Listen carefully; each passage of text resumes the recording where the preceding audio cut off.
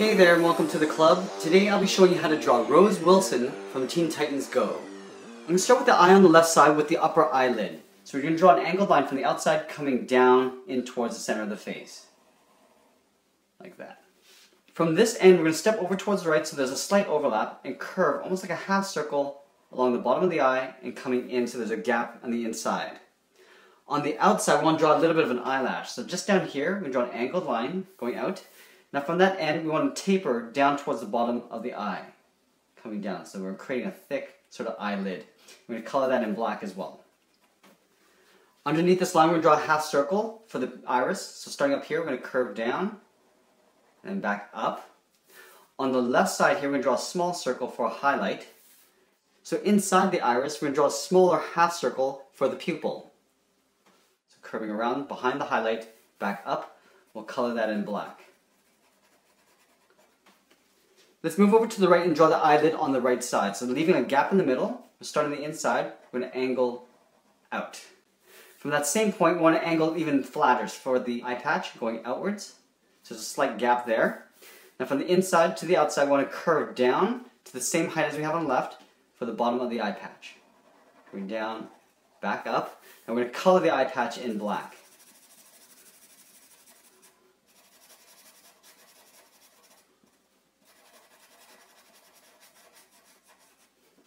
We're to add the scar in behind the eye patch here. So just on the top here, we're to curve up and in, and we'll taper back down. We're to do the opposite on the bottom here. So we're to curve down, and then we'll pull that back up. In between the eyes, we're to draw in the nose. So it's basically like a little arrow pointing towards the right. Coming down across like that. Now we're to draw a frown. So mouth curving from the left over towards the right.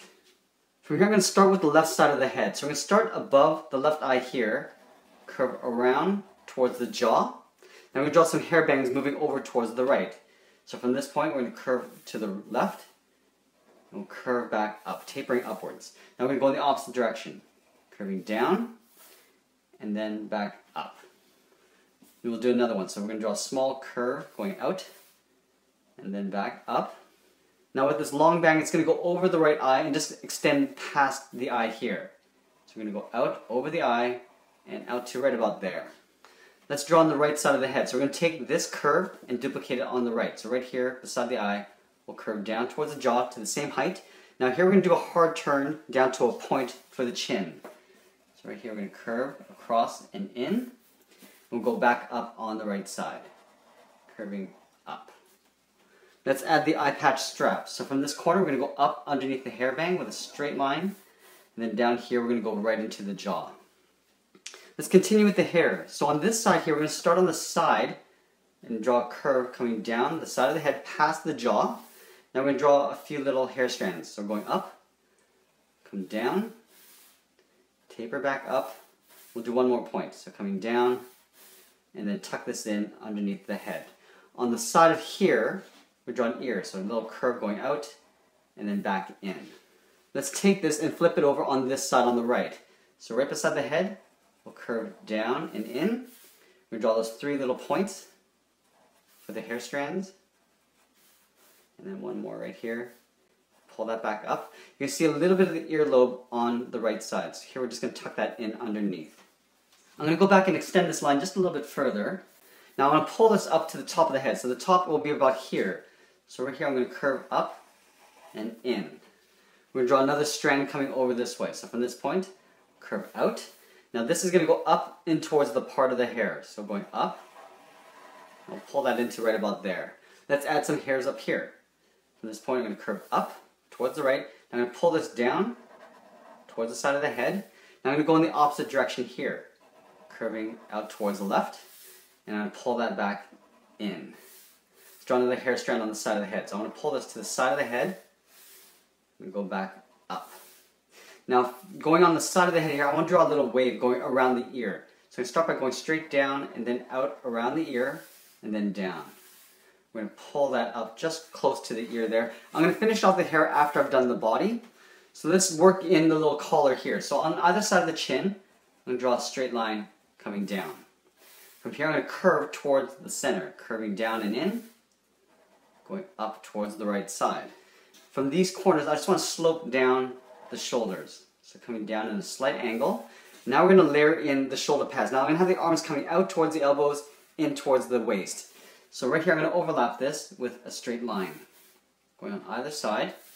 Now we're going to work with this angle of the shoulders. So from this point, I'm going to curve to the end of the shoulder pad, going out this way.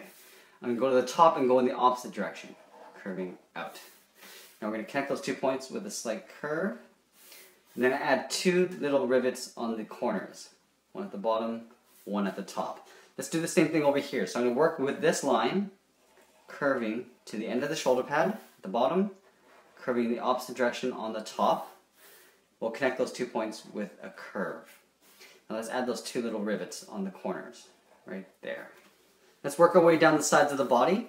So right under here, I want to draw a curve going out from underneath the shoulder pads. Now we're going to go in the opposite direction for the chest, curving down and in, curve down and in. Now we're going to work our way down the waist. So stepping in slightly, we're going to curve down and in. So it's a tight little waist here. We'll connect those two points with a curve for the bottom of the belt. Going across like that. We step up and draw that same curve again. And then just in the middle of the rib cage, we'll draw another curve to separate her top. On the sides here, I just want to add a little trim. So from this point, I'm going to curve across.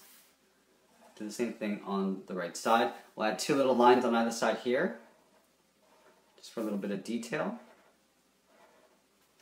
Let's work our way down the legs. So in the middle here, just down here, I'm going to draw a short little line going across for the lower torso.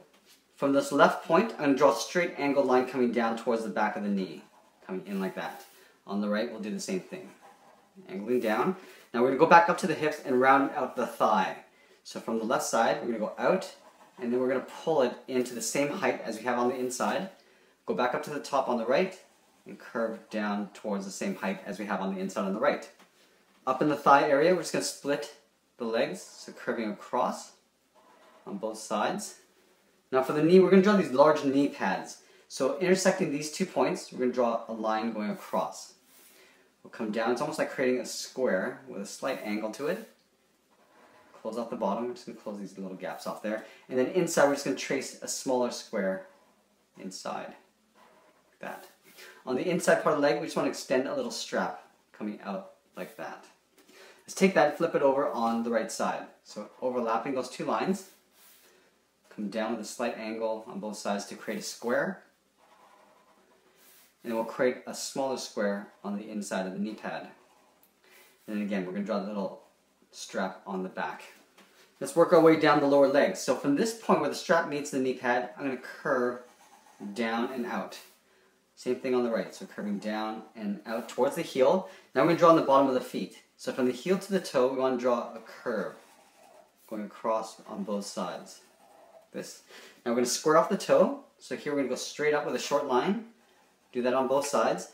Now from here, I want to curve the top of the sole to the inside part of the leg, working across. That.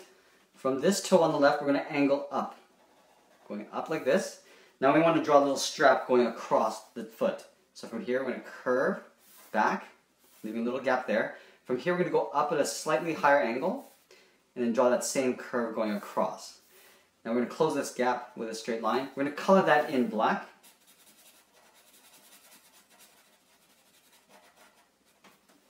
Now I want the strap to overlap the shin guard. So from this corner, we're going to step over towards the right and sort of go up and angle in towards the knee.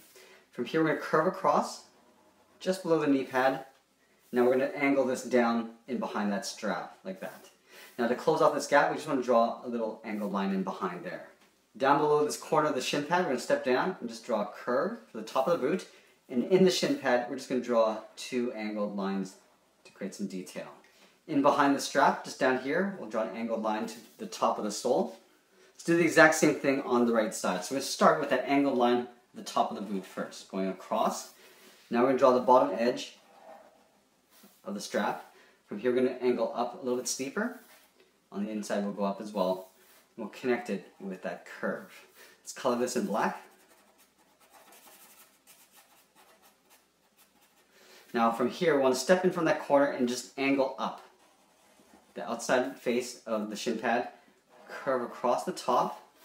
Now we're going to come straight down to that strap. We'll draw two lines separating it. And then from the knee pad to the shin pad, we'll just draw an angled line to close that gap off. Up here, we'll draw a curve for the top of the boot. And then in here, again, so right here, draw an angled line coming back. Let's fill in some areas with black. So right in here, the calf area, we're going to color this area in black.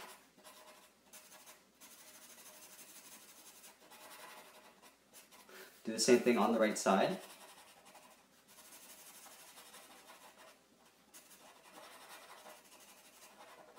And then in this lower thigh area, we'll color that in black as well.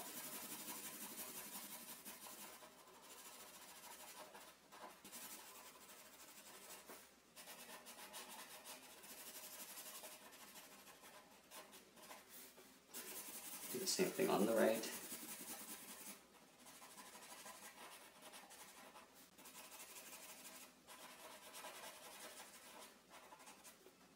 Right in the lower belly here, this is black as well. So we're just going to fill that in.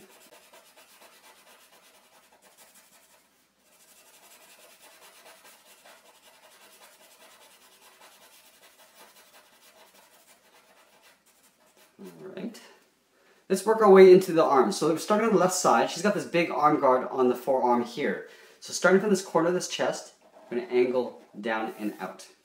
We're going to draw the top edge of this arm guard. So we're going to overlap this. So the arm from the shoulder goes to the elbow in towards the wrist. So we're going to overlap and draw an angled line going across like that. Now let's draw the ends of the wrist guard. So from here, curve out. Now on this end, we're just going to draw a straight line. We're going to taper a curve going in towards the wrist. Curving in like that. Up here, we're going to draw a straight line for some detail. And then three little rivets inside here. Going across and then in the center, we'll draw a straight line, split this in half with a straight line, and then we'll split this area with a straight line as well. Let's draw on the outside of the arm. So just from this corner, we're going to step down and curve towards the elbow. So we're going to curve it down to about there, and then pull this in behind that arm guard. We're going to color this area in black.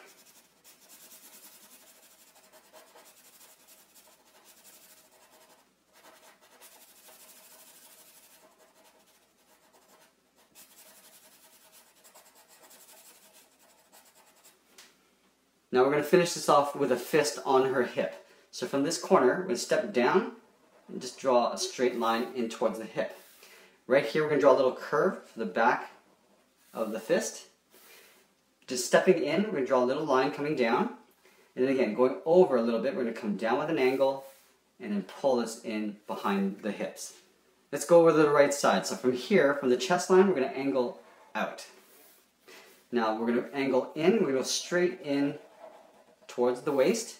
Now we can go right on to the outside of the arm. So we're going to step up here, angle out with a slight curve.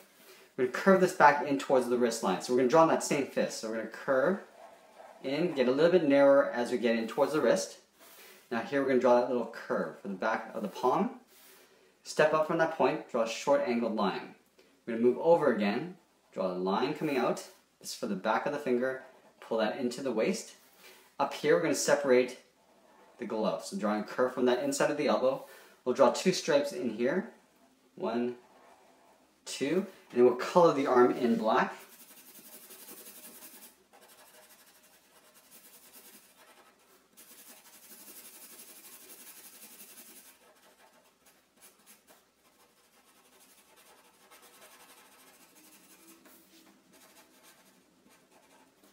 Now that we have the body in place, we can finish off the hair. So the hair comes all the way down, about halfway down her legs.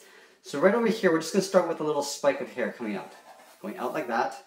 Let's go over to the right side. So underneath this ear, I'm to curve out. Over here, let's draw a little hair spike. I'm to pull that back in. Now the hair curls back this way. So we're going to start from here, go around the arm, and then continue down with a curve in behind the leg. We'll draw a little hair spike down here. So we're going to curve in towards the middle, We'll go back towards the left with a slight curve. We'll curve back up behind the right leg. This is going to go all the way up this way, but let's add a little hair spike here as well. So I'm going to curve back. Now from this point, I'm going to just draw a gradual curve going over, aiming towards that point. So going around the elbow, and we'll just gradually aim towards that point there.